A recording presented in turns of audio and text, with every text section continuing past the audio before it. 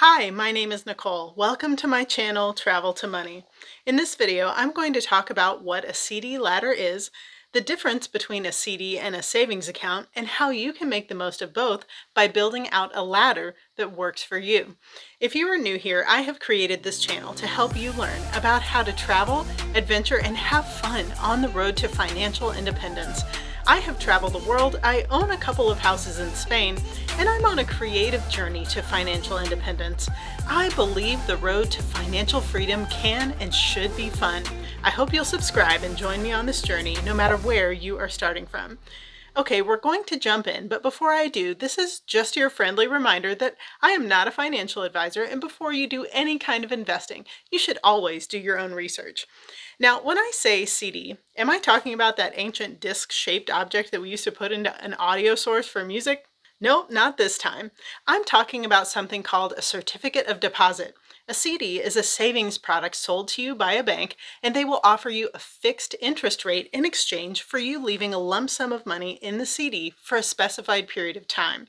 Usually, the interest rate offered for a CD is more than what you would get in a high yield savings account. The benefit to you is that you earn more interest. The drawback is that you don't have access to your funds for whatever the specified period of time is.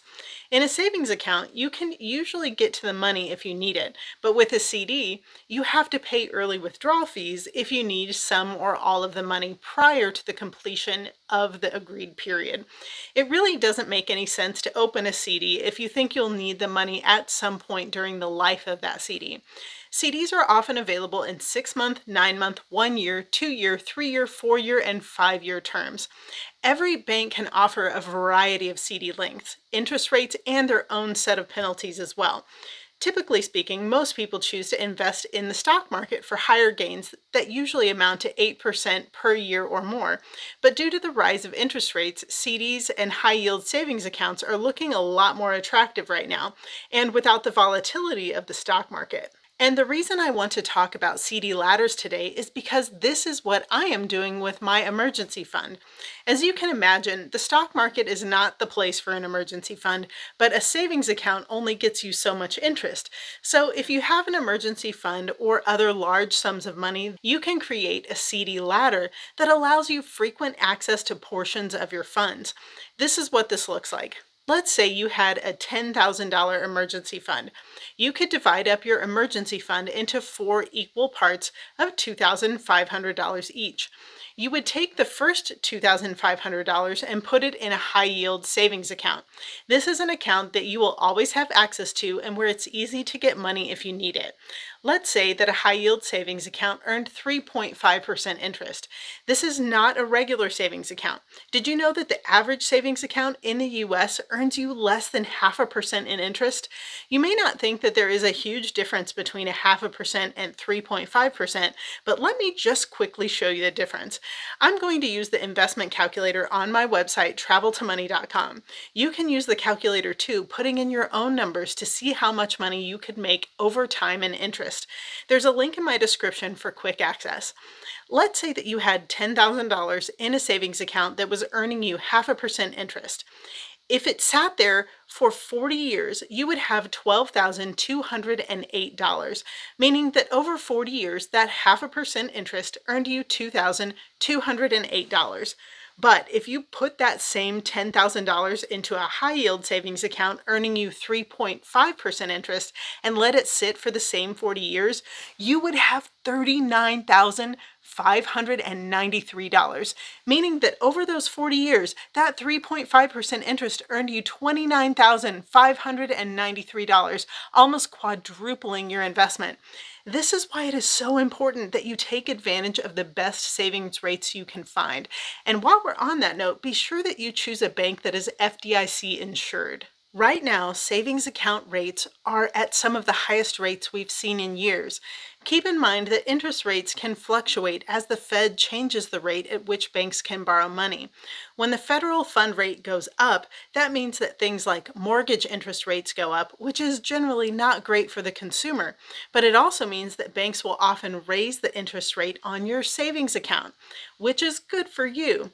In any case, you always want to have your savings in an account that is high yield and that will maintain some of the highest interest rates available, even as the rates fluctuate. Now, let's get back to that CD ladder we were talking about. Hopefully the savings account example now has you understanding why every half a percentage point really matters and why you would want some of your emergency savings in a CD if it offers a higher interest rate than your high yield savings account. For those of you who hate the volatility of the stock market, the nice thing about a CD is that you get the rate that you are told you will get over that specified period of time. Okay, so let's say that you're going to build a CD ladder that basically has four rungs on it. The bottom rung is your $2,500 high yield savings account. The next rung on the ladder will be a six month CD. And let's just pretend that it is going to bring in 4%, which is half a percentage point higher than your high yield savings account. Then rung number three is going to be a one year CD. And let's just pretend that the one year rate available to you is going to be 4.5%, which is half a percentage point higher than your six month CD and one percentage point higher than your high yield savings account rate. You can probably guess by now that your fourth rung on the ladder will be an 18 month CD, which is one year and six months. Let's just pretend that this CD interest rate is 5%, which is another half a percent higher than that year long CD. It's important to know that the interest rates won't always vary in this same way, and sometimes the bank you use might even offer a higher rate for a shorter term. It depends on several factors, but instead of you throwing three quarters of your emergency fund all into one CD that lasts a year and a half, leaving you unable to touch your money for that long period of time, with a CD ladder, you have access to those chunks of money every six months. Now, you can build a CD ladder over different periods of time, but I personally like having the CD maturity dates every six months. This gives you frequent access to a chunk of your money if necessary.